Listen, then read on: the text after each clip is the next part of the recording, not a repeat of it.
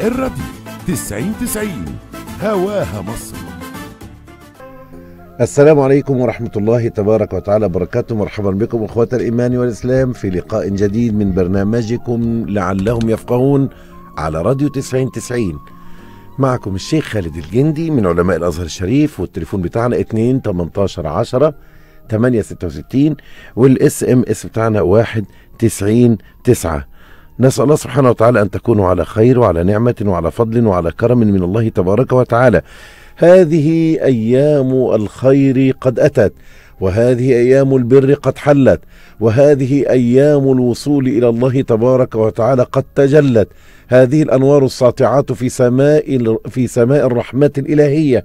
وهذه الآيات القرآنية السماوية التي تتنزل على قلوبنا في هذه الشهور والأيام في هذا الشهر والأيام الزكية.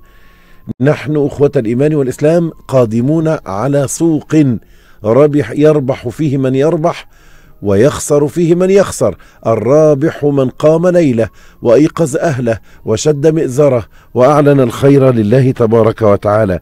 إخوة الإيمان والإسلام واقترب رمضان وبدأ العد تنازلي لحلول هذا الشهر الكريم أعاده الله علينا وعليكم بالخير واليمن والبركة. أخوة الإيمان والإسلام الحقيقة آه يعني أريد أن أتحدث معكم حول أمر هام. تعالوا نتكلم عن الموضوع دوت اللي هنتكلم فيه دلوقتي لأنه الموضوع يخصنا كلنا يا جماعة.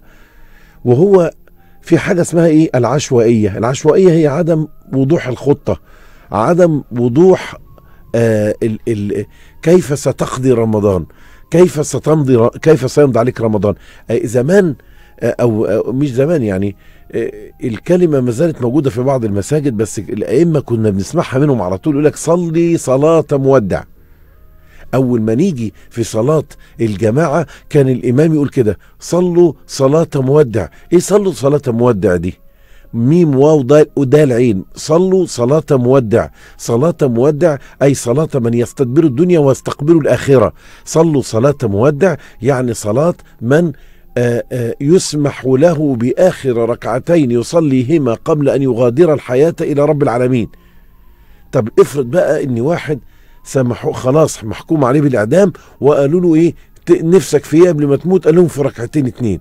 صلاة اللي بيودع الدنيا. تفتكروا الصلاة دي هيكون شكلها إيه؟ لو قالوا لك إن دي آخر صلاة ليك وهتتوكل على الله تقابل الله عز وجل هتكون الصلاة دي احكي لي عن خشوع فيها احكي لي عن الخضوع فيها احكي لي عن تدبرك للقرآن احكي لي عن وقوفك في حالة استسلام بين يدي الرحمن سبحانه وتعالى. فهمت قصدي إيه؟ أدي معنى كلمة صلاة مودع. فلو كل إنسان صلى الصلاة اللي هو بيصليها كأنها صلاة مودع كأنها آخر صلاة أنا عاوز أقول لك هتخش في قوله تعالى قد أفلح المؤمنون الذين هم في صلاتهم خاشعون. الذين هم في صلاتهم خاشعون. ربنا هيتقبل سبحانه وتعالى جل وعلا لخشوعك في الصلاة. دي رقم واحد. رقم اتنين ما تيجوا ننقل الفكرة دي للصيام. ما تيجي نقول يلا تعالوا نصوم صيام مودع. يعني شوفوا اولا اولا أنا مش ضامن مش ضامن إن إحنا يعني يعني نلحق رمضان. يا رب ندرك رمضان. يا رب نكون من أهل رمضان. يا رب يجي علينا رمضان. إحنا بينه وبينه أيام أيام قليلة. يا رب يجي علينا رمضان. يعني هو النهارده 18 شعبان يعني خلاص أقل من 12 يوم تقريبا. خلصت القصة خلاص. فأنا عاوز أقول إيه؟ ان يا رب يكون يجي علينا رمضان. يا رب نبقى من أهل رمضان. بس عشان لو بقينا من أهل رمضان لا لا يبقى بيحبنا بقى. بجد يبقى بيحبنا. يبقى رايد بينا خير. لأنه بيدينا فرصة. لأنه بيدينا فرصة. الفرصة دي لم تتح لآخرين. يرحم الله اللي مات ويهدي الله كل عاصي. إنما الفرصة ديت أتيحت ليك أنت يا راجل يا طيب.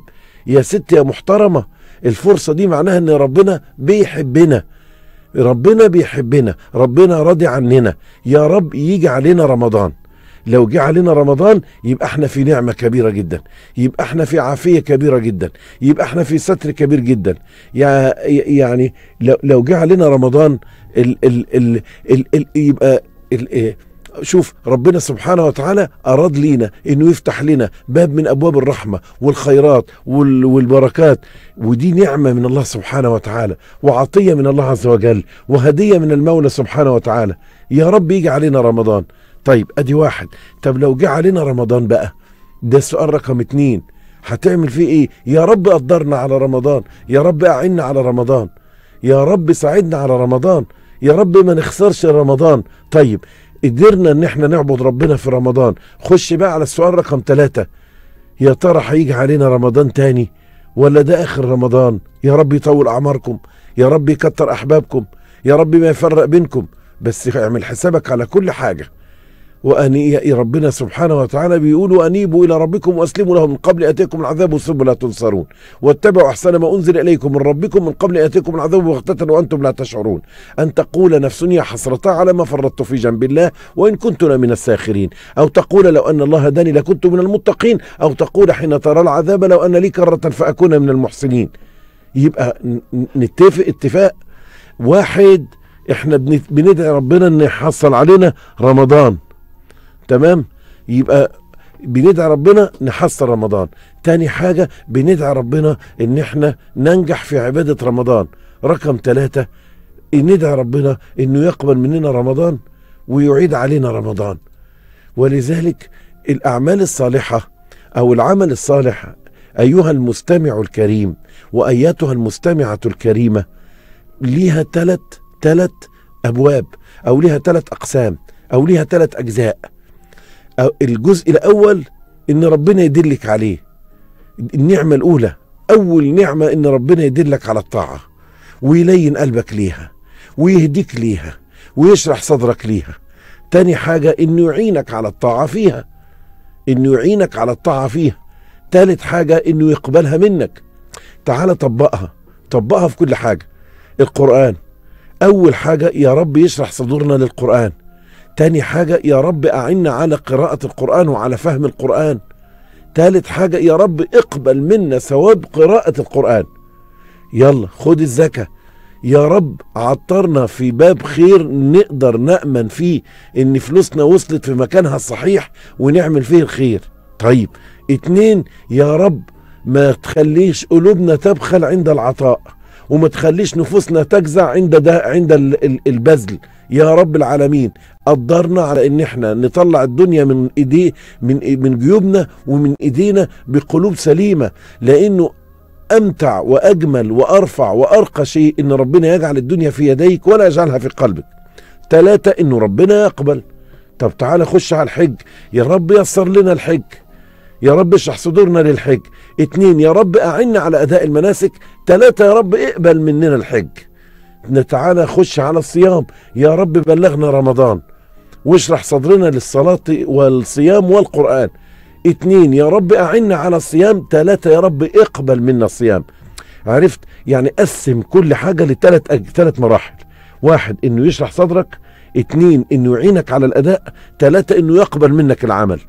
هو ده اللي قاله سيدنا سليمان فتبسم ضاحكا من قولها وقال رب أوزعني قدرني ساعدني أعني أوزعني أن أشكر نعمتك التي أنعمت علي وعلى والدي وأن أعمل صالحا ترضاه وأدخلني برحمتك في عبادك الصالحين. إنما بتبقى المشكلة يا جماعة المشكلة إن إحنا كلنا واقعين فيها. لماذا نخسر رمضان؟ ولماذا يفلت منا رمضان؟ ولماذا نخرج من رمضان بخفي حنين؟ ليه إحنا بنكون مفلسين بعد رمضان إلا من رحم ربك؟ أنا ما بعممش. لماذا نخسر رمضان كل عام؟ لماذا نخسر رمضان كل عام؟ نخسر رمضان كل عام باختصار شديد لعشوائية الطاعة. أنت داخل من غير خطة. أنت لما بتكون طالع مصيف بتحط له الخطة بتاعته. هاخد معايا مبلغ كذا هاخد معايا كوفرتة معرفش إيه هاخد معايا لعبة إيه هاخد معايا هدوم إيه. أنت ماشي بخطة أنت طالع الحج ماشي بخطة. واحد وبتشوف برنامج الرحلة بتروح شركة السياحة اللي أنت بتدفع لها الفلوس عشان تطلع الحج ولا العمرة مثلا وبتقول وروني البرنامج لو سمحتم. اسم الله عليك. يعني عارف حاجة اسمها البرنامج؟ يعني عارف حاجة اسمها ال ال ال ال السكاديول أو ال ال الترتيب أو ال أو المواعيد أو ال ال لما بتخش مطعم بتطلب البامفلت أو بتطلب المنيو بتاع ال- المنيو اللي أنت بتطلب عليه الأكل.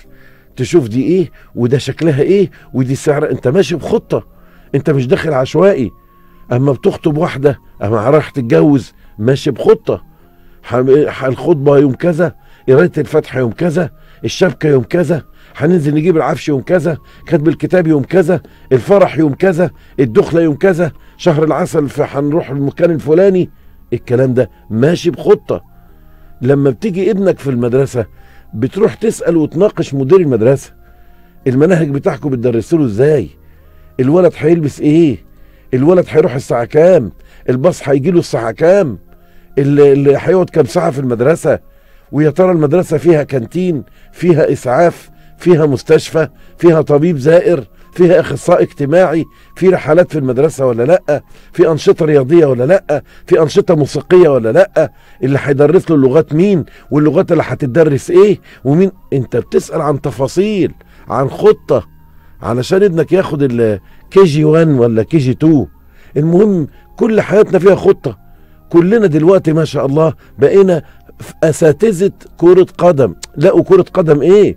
كرة قدم عالمية. الله يكرمه ويطول لنا عمره. الكابتن محمد صلاح خلى الشعب كله دلوقتي بيتكلم في الكورة ويتكلم كورة حلوة قوي. والناس قاعدة دلوقتي عارفة يعني إيه ليفربول وفاهم و... و... وفاهم يعني إيه ريال مدريد وفاهم يعني إيه ما أعرفش تشيلسي وفاهم يعني إيه روما. يا يا صلاة ده إحنا نسينا الأهلي والزمالك. ده ما حدش بقى يشجع كرة محلية. ده كان لسه في ماتش الأهلي والزمالك. أنا عاوز أقول لكم ما حدش خد باله منه أصلا وبيتلعب. مش هو ده اللي كان بيحصل في مصر في المطوشه دي؟ دي كانت حالة الطوارئ بتعلن في البلاد شرقها وغربها. ده كان كأنه حظر تجول. دلوقتي بقى خلاص بقينا بتوع ليفربول وتشيلسي ومن وكلام بقى ال- ال- ال- كلام خلاص بقى. إحنا بقينا بتوع المستورد خلاص. طيب وبنقعد دلوقتي تقعد على القهوة ولا تقعد مع ناس فلاحين في في في كفر ما أعرفش إيه يبقوا قاعدين يقول لك إيه إيه الخطة بتاعت المدرب ديت مش مش صح. هو الخطة بتاعته غلط. أصل بيلعب بخطة غلط يا صلاة النبي يا صلاة النبي صميده بقى يتكلم عن الخطه يعني عارفين الخطة في الكورة؟ عارفين الخطة في في في في المصيف؟ على الخطة في التعليم؟ الخطة في البيت؟ الخطة في النفقات؟ الخطة في كل حاجة إلا العبادة. أنا آسف إني بقول لكم كده. العبادة بتاعتنا بنمارسها بشكل عشوائي. ما فيش خطة. تقدر تقول لي مجهز إيه رمضان تقدر تقول لي مجهز إيه رمضان بالله عليك. لو أنا قلت لك إن في رئيس دولة جاي لك يلا يا عم. طبعا أنت مش هتصدقني. بس اف- افرض افرض مثلا يعني يعني إن رئيس دولة جاي لك إن ملك من الملوك جاي لك. ان واحد مطرب شهير ولا ممثل معروف ولا محمد صلاح مثلا هيجي لك البيت مثلا.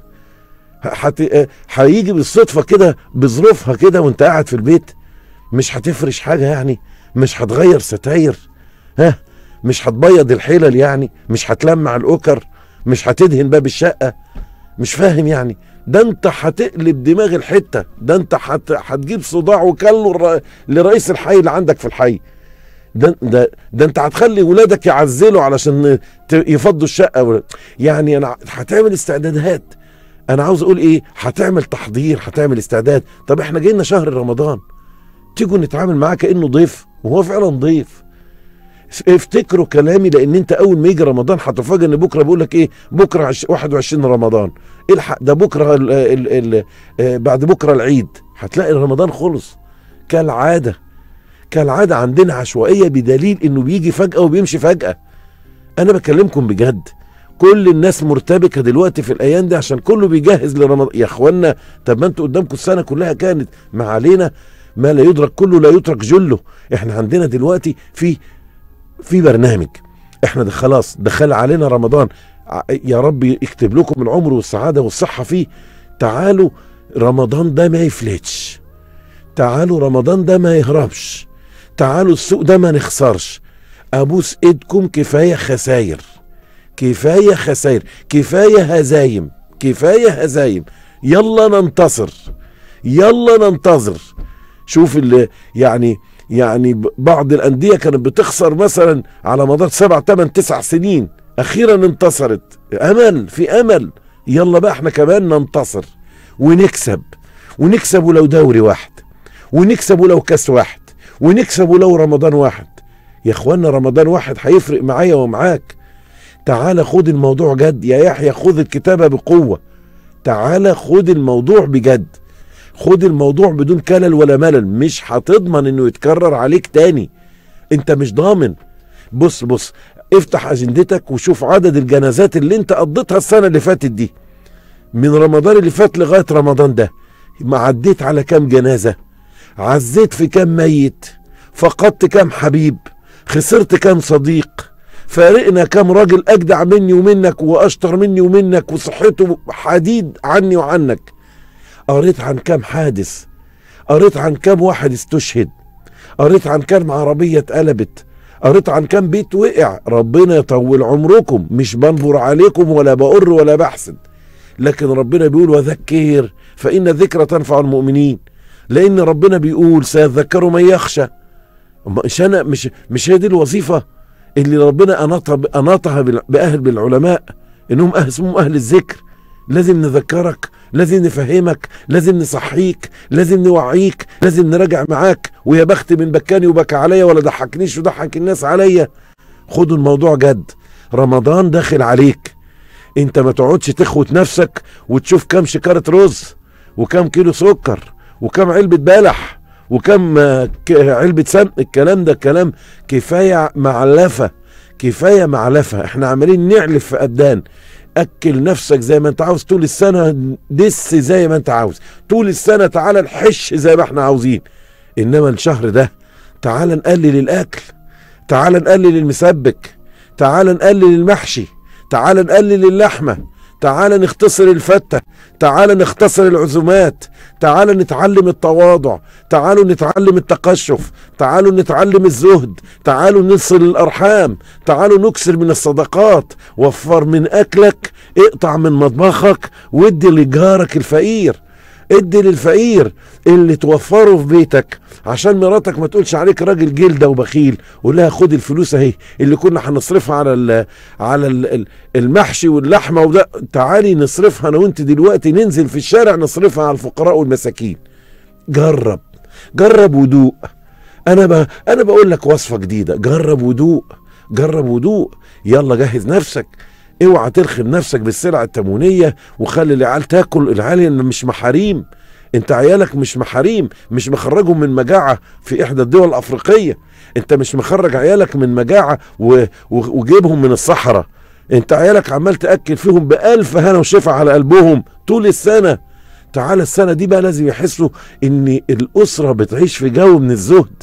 جو من الزهد جو من تقليل متع الحياة لطاعة الله سبحانه وتعالى.